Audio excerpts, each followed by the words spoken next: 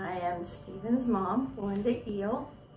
We have adopted Steven and he's had difficulties since six months old when we adopted him, uh, behavioral issues, sometimes so badly that um, he was put in Rogers Behavioral Center for 12 weeks. We've had ABA in our home, 12 weeks, two different sessions. Uh, he's on adult dosage medications. They're constantly wanting to raise them because he's a violent child. Can't fit in a regular classroom in any way, so he has to be homeschooled. And we came to Saving Your Brain because I saw an ad when I came into a chiropractic office.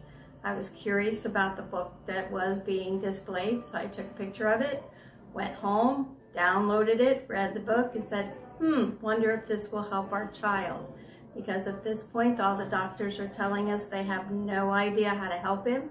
He's a complicated case.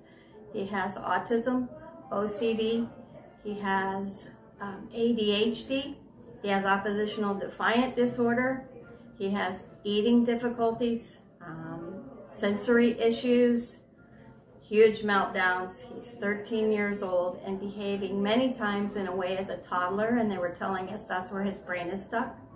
We've had three visits already. He's not as attention seeking. He's sleeping better at night. He's more communicative with us than he has been. He's reached out and hugged us a few times, which has shocked us. We're feeling hope for the first time. And this is our first hope that things are getting better.